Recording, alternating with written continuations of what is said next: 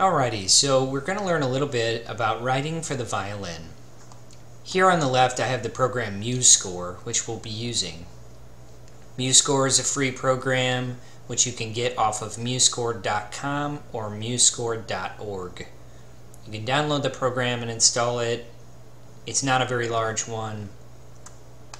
The reason I like it is because it's a free program that has the functionality of a program which costs many hundreds of dollars. So for our activity today, we're going to take the song Sweden from the popular game Minecraft, and we're going to learn how we can turn the melody of Sweden into that of a violin melody. Essentially, what we want to do with most songs that we encounter is we want to take the very first note, the very top note, or I should say the highest note that we encounter throughout the piece. And we just want to simply transfer that over. And I'll show you what I mean. So first of all in MuseScore, we're going to make a new score by clicking the New Score button, or you can hit Control N. When I click that, a bunch of options come up and I can fill those options out if I want to. I'm going to go ahead and do that. Title, Sweden. Uh, composer is, uh, I forgot the name of the guy. Anyway, we'll just say Sweden. Next. And then it says create a template or select a template. We're just going to click this blank one because we want to select our own instruments. On the left, there's a bunch of categories, but we'll be choosing strings. And then we'll select the violin. When the violin's highlighted, we'll click the Add button. So now violin will appear in our score. For a later activity, we'll also need the cello. So let's go ahead and add that now. Another name for the cello is the violoncello, as it appears in Italian. So we'll click violoncello and click Add. Now that we have the violin and the violoncello, we're ready to begin. We'll hit next. Now we have to choose the key signature. The key signature tells us about the notes that we're going to be finding in the song. Sometimes notes can be normal,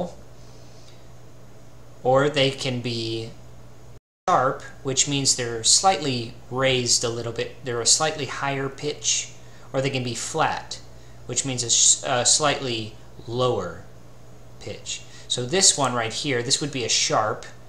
It's the same symbol as pound or hashtag, whatever you like to call it. And then this one down here would be a flat.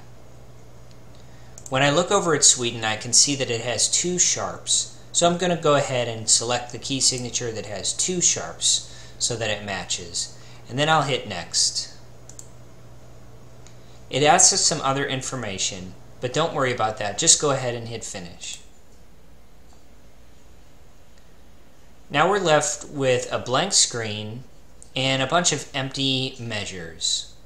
Those little black bars you see in the measures are just a rest. It just tells you that there's no notes there yet. But we're going to be putting some notes in. So in MuseScore, there's several ways to enter notes. But the most basic of them all is just to go ahead and click the notes in yourself. If we look at the first measure of Sweden, we're seeing a lot of things happening. So there's a couple notes stacked on top of each other, then there's a single note, a couple notes stacked on top of each other, and a single note. And you'll also notice these lines, which sort of look like maybe almost smiles, right? We're going to ignore those lines for now.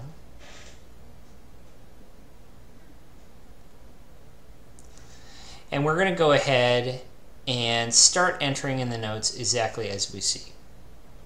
For the first beat, since there's two notes, we'll go ahead and just only enter the very top note, the very highest note. Even if you don't know the name of that musical note, that's okay. All you have to do is just copy the way it looks and later in time, you'll hopefully learn the musical notes. To start entering notes in your score, finally we're going to hit N. You can press N on the keyboard, I believe, or just click this N button right here. Once that happens, if I hover my mouse over the score, you'll start to see a note that moves up and down if I move my mouse up and down. And wherever I click, a note will pop in. I just clicked this note, but it's not the note that I need. So I'm going to go ahead and hit backspace, get rid of it. You could have also hit delete. So I can see that the note being used is a quarter note because it's black, it's a black circle, and it has a stem. So if I look at the top of the different kind of notes, I know that I have the right note selected because it is a quarter note. So I'm going to go ahead and enter that note in that I'm seeing. It looks like there's two tiny lines below the main staff, and then my highest note is right there. I'm going to click that in. So see how it, it appears? Then for the next beat, it's actually going to be that very same note. And for the third beat in the measure, it'll be this note, which is a D, and the fourth beat will also be that note. So now we've successfully entered in the notes of the very first measure.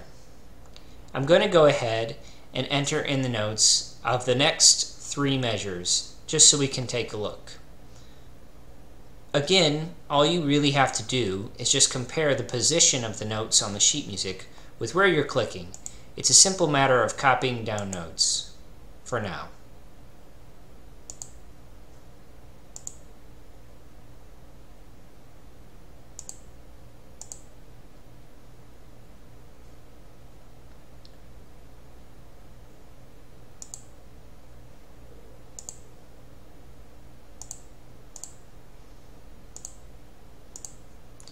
Great.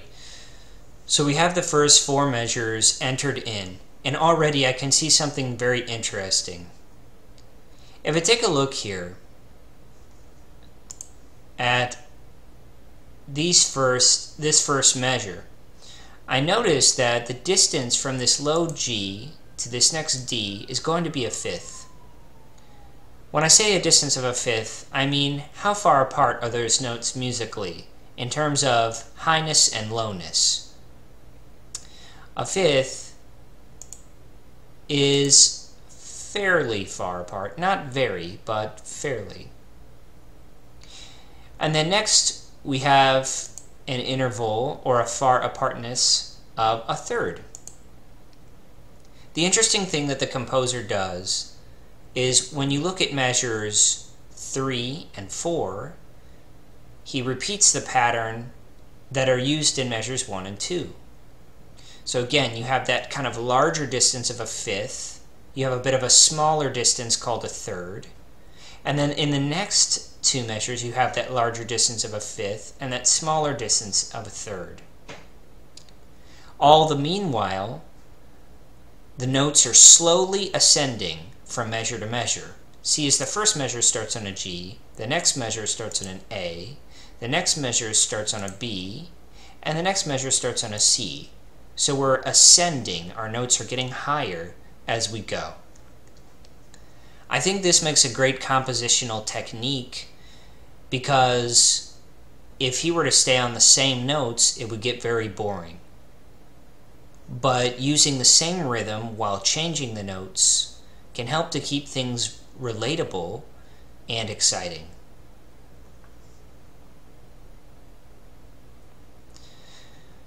So in terms of finishing off the piece, we would go ahead and continue to copy the highest notes that we see.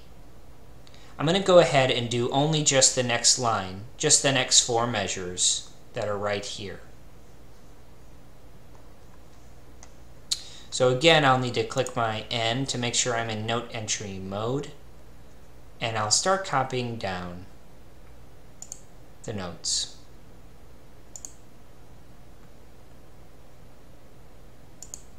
And remember, I'm only selecting the highest pitch in each measure.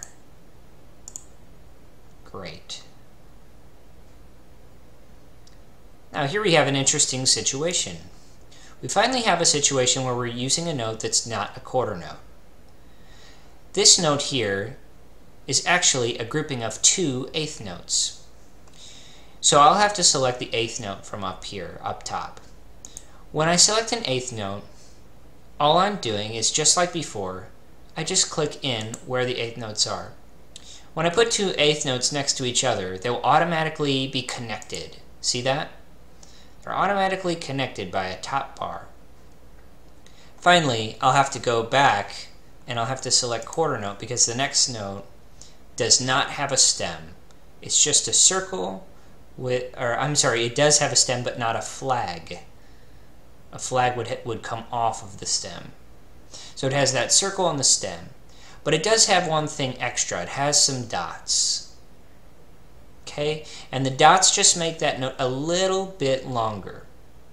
So make sure before you place your note, you're going to click the dot right here. And it's going to add a little bit of extra length onto the note, which we'll need. And I can see that the note is the first space, which is an F. I'm going to click that, and we get an F with a dot there. That's exactly what we want. Finally, I'll notice that I have these two notes, which have two um, connector lines at the top.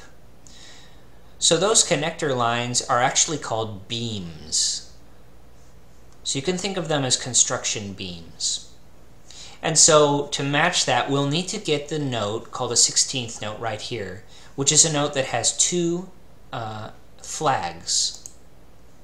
And we'll go ahead and use this, and we'll just click those remaining notes in. That would be a D.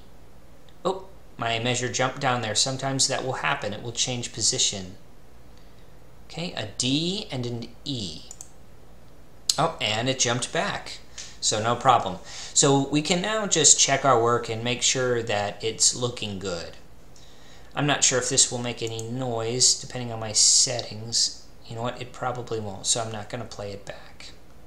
But anyway, this is what it looks like, and as long as you've copied the notes on the document, it's going to sound just fine. It's going to sound the way that it should sound.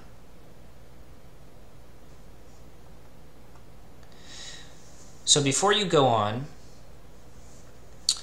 uh, practice um, practice writing in, practice using the program, and go ahead and finish up copying down the highest notes that you find in Sweden.